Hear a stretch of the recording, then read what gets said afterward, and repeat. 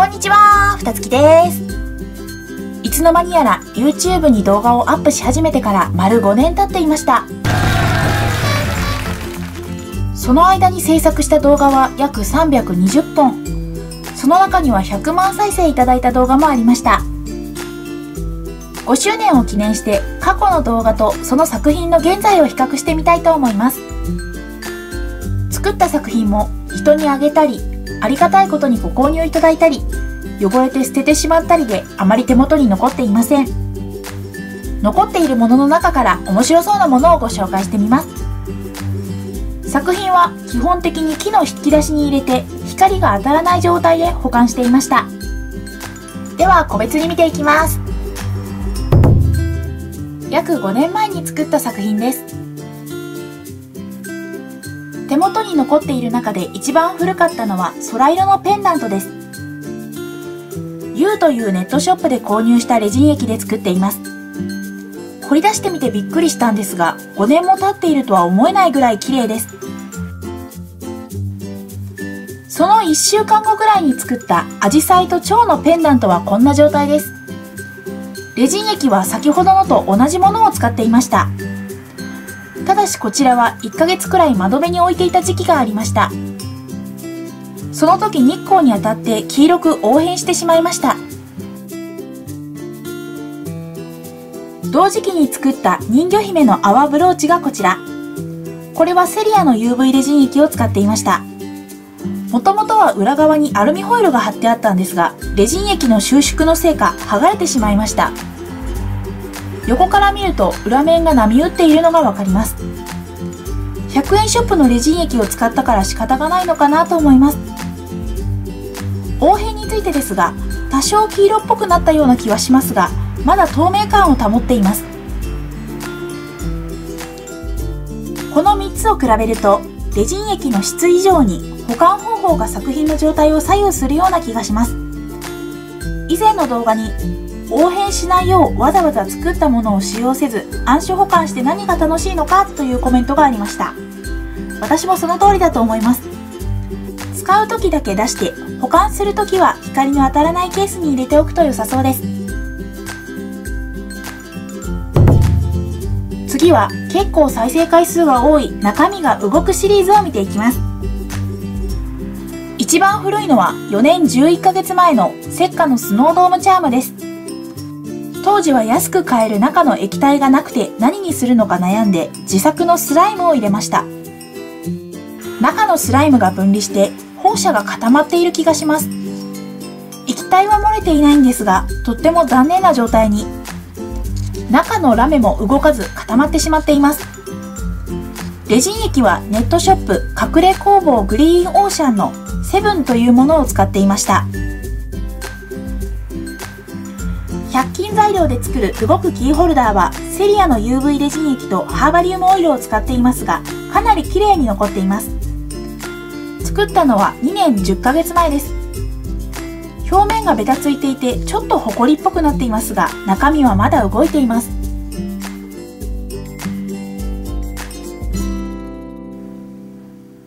100均材料で作る動くスノードーム作ってみた。では星の雫というレジン液とダイソーのベビーオイルを使っています。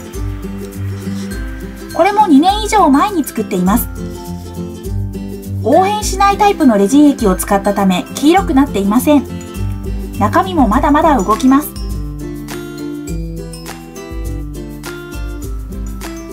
中身が動くシリーズも23年なら綺麗な状態が保てそうな感じがします。100均シリーズです。私の動画では100円ショップの材料だけで作品を作ることが多々あります。その現在の姿をご紹介します。赤い月のネックレスはほぼ5年前に制作しました。レジンの劣化はほとんどわかりませんが、チェーンなど金属部分の汚れが気になります。100円ショップだと金具類もあまり品質が良くないので綺麗な状態が長持ちしないみたいですね。最近は高品質のチェーンなども100円ショップで手に入るようになってきたので今後に期待です。シャボン玉と猫はセリアのカラーレジン液で作りました。作ってから4年半経過しています。少し応変して表面がホコリっぽくなってしまいました。でも透明感はまだまだあります。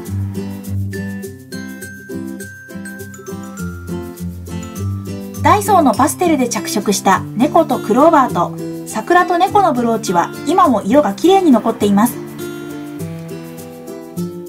レジン部分が多少応変してもダイソーのパステルで色付けした部分はあまり変色していません。あんなに安く手に入るのに意外と長持ちする着色剤かもしれませんね。パステルは今はパッケージが変更になっていますがダイソーで購入できます。不透明着色剤としてはかなりおすすめです。こちらはネイルスタンプのコツの動画でご紹介したピアスです。ネイルスタンプはマニキュアを使っているので発色がほぼ変わらずに綺麗な色をしています。ネイルスタンプの作品は長期の利用に向いていそうです。その他の綺麗に残っている作品やお気に入りのものをパパッと軽くご紹介します。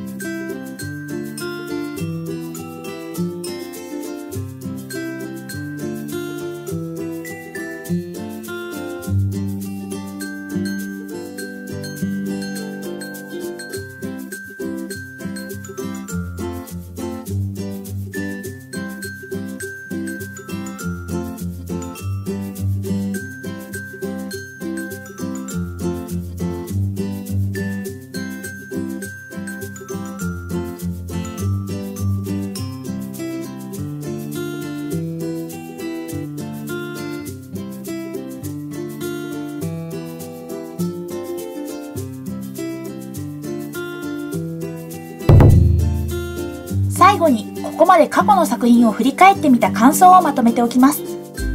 ここまでご紹介してきたのは手元に残っている作品だけです。あまりにも劣化したり汚れたりしたものは捨ててしまっています。効果が不十分なものは劣化しやすくて表面がネバネバしてきたり埃まるけになったりしました。どんな作品を作る時にもしっかり硬化させるようにするのが大事です。100円ショップの材料は安くて手軽に始められるメリットがありますが長持ちしないことが多いです。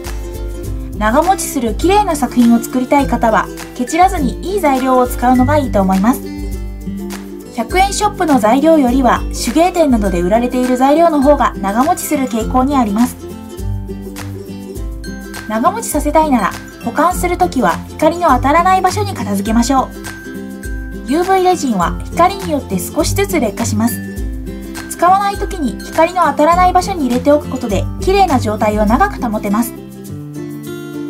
より長持ちさせたいなら UV カットスプレーなどを使用するのもいいかと思います。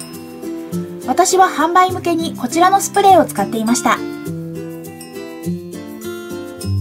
皆さんはレジンの劣化防止に何か対策していますか？コメントからご意見を聞かせてください。ではこの動画を参考に皆さんも長く素敵な作品を楽しんでくださいね。以上ふたつきでした。バイバイ。最後までご視聴ありがとうございました。チャンネル登録と評価よろしくお願いします。